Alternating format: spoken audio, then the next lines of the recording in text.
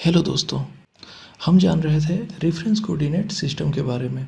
आप नीचे जाएँगे तो यहाँ पे हमने वर्किंग पीरियड का ऑप्शन मिलेगा। हमने इस ग्रिड के बारे में जाना था, इसके नीचे है वर्किंग पीरियड तो जैसे ही आप वर्किंग पीरियड पे जाओगे, आपको वी पोर्ट में कोई भी चेंज देखने को नहीं मिलेगा। क्योंकि इस वर्किंग पीरियड को आपको एडिट करना होता है। यहाँ पे आप देखेंगे, यहाँ पे मॉडिफाई टैब है, उसके आगे जो है हायर की टैब है। हायर की टैब में जब आप नीचे जाएँगे तो आपको वर्किंग पीरियड का ऑप्शन मिलेगा।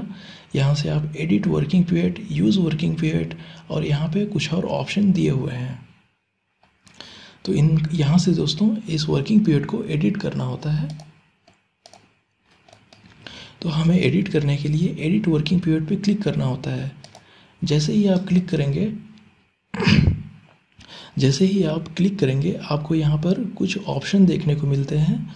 यहाँ से आप रीसेट कर सकते हैं, यहाँ से आप ओके कर सकते हैं और यहाँ से आप कैंसिल कर सकते हैं। और यहाँ पे आप देखेंगे दोस्तों, यहाँ पे आप देखेंगे ये जो गिज्मो है, ये ग्रिड के बिल्कुल सेंटर में है। इसे हम एडिट कर सकते हैं, इसे हम कहीं भी ले जा सकते हैं। कुछ इस तरह से हम हम इसे कहीं भी ले जा सकते हैं, कुछ इस तरह से एडिट कर सकते हैं और एडिट करने के बाद हमें ओके करना होता है। हम यहाँ से ओके करेंगे या फिर यूज़ वर्किंग पीरियड पे क्लिक करेंगे, दोनों एक ही बात है। तो जैसे ही हम ओके करेंगे, आप यहाँ पे गौर करेंगे, यहाँ पे लोकल लिखा हुआ है अभी। ये जो है ऑटोमेटिकली ये जो है वर्किंग पीरियड पे चेंज हो जाएगा और यहाँ पे पीरियड पॉइंट सेंटर में है अभी। ये जो है ट्रांसफॉर्म कोऑर्डिनेट सेंटर में।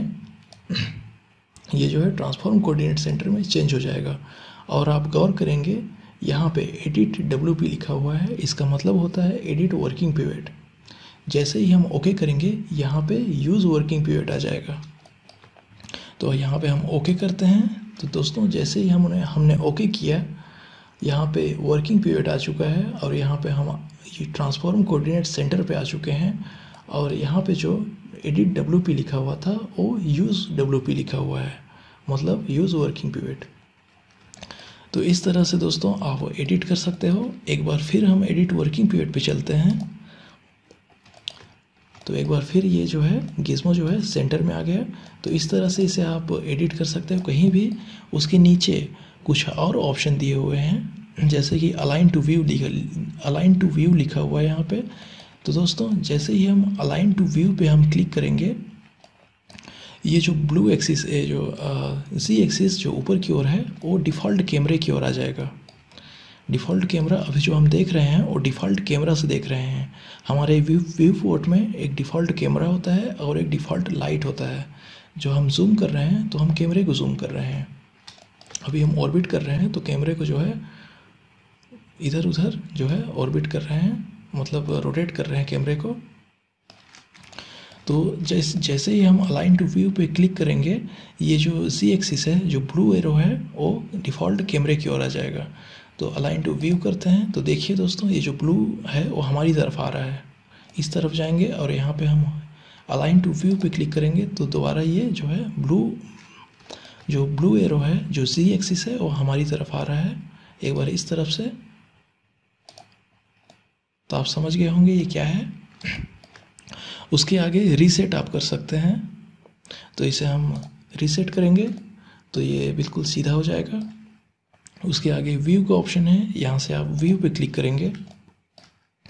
व्यू पे क्लिक करने के बाद आप इस ऑब्जेक्ट के सरफेस पे कहीं भी क्लिक करेंगे तो ये जो है सी एक्सिस जो है डिफ़ॉल्ट कैमरे की ओर ही आएगा, क्योंकि हमने व्यू पे क्लिक कर रखा है। इस तरह से आप इस तरह से कर सकते हैं। सी एक्सिस जो है, हमारी डिफ़ॉल्ट कैमरे की ओर ही आएगा। इस तरफ़ है सी एक्सिस अभी इस तरफ़ है। क्लिक करेंगे यहाँ पे तो ये जो है, बिल्कुल डिफ़ॉल्ट कैमरे की ओर आएगा।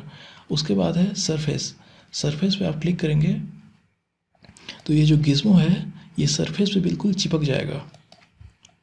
कुछ स्नैप कर रहा है जैसे लगेगा। यहाँ पे आप सरफेस पे क्लिक करेंगे। क्लिक करने के बाद, जैसे ही आप कहीं भी रख सकते हैं इसे लेकिन आप देखेंगे, ये जो सी ये स्नैप नहीं कर रहा है। स्नैप इसलिए नहीं कर रहा है क्योंकि यहाँ पे जो है अलाइन टू व्यू पे यहाँ पे चेक है। इसे हमें ऑफ़ करना होगा पहले। हमने इसे ऑफ़ किया है, उसके बाद सरफेस पे हमने क्लिक किया हुआ है और यहाँ पे हम दोबारा यहाँ पे रखेंगे। तो देखिए, ये जो है गिज्मो जो है, इस ऑब्जेक्ट के सरफेस पे आ रहा है। हम यहाँ पे रख के देखेंगे तो भी देख सकते हैं आप, बिल्कुल स्नैप कर रहा है ये। स्नैप कर रहा है जैसे लग रहा है, लेकिन ये सरफेस पे आ रहा है। तो इस तरह से दोस्तों, आप सरफेस पे बिल्कुल गिज्मो को रख सकते हो। इसके आगे है अलाइन टू व्यू जैसे आप अलाइन टू व्यू पे क्लिक करेंगे तो ये जैसे ही आप रखोगे तो सरफेस पे भी आएगा और व्यू में भी आएगा। सी एक्सिस बिल्कुल डिफ़ॉल्ट कैमरे की ओर होगा।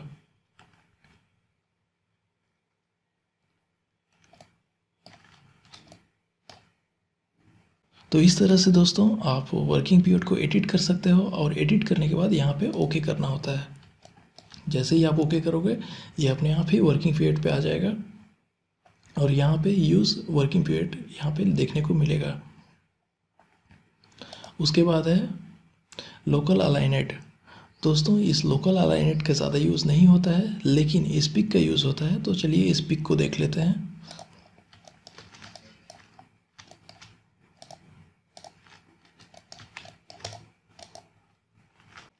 तो दोस्तों, हमने वर्किंग पीरियड के बारे में जाना।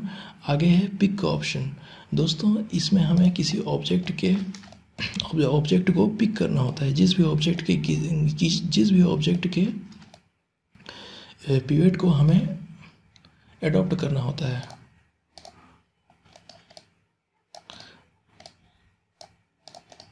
मान लीजिए कि हमने यहाँ पे एक बॉक्स बनाया और इसे हमने ऊपर की ओर ले गए। आप ज़रा गौर करेंगे, ये जो ये जो ऑब्जेक्ट है, इसका पीरियड यहाँ पे है और ये जो सिलेक्टेड ऑब्जेक्ट है, ये जो छोटा वाला बॉक्स है, इसका पीरियड जो है यहाँ पे है। इसका ऊपर साइड है और इसका नीचे तरफ़ है, क्योंकि ऑब्जेक्ट ही ऊपर है।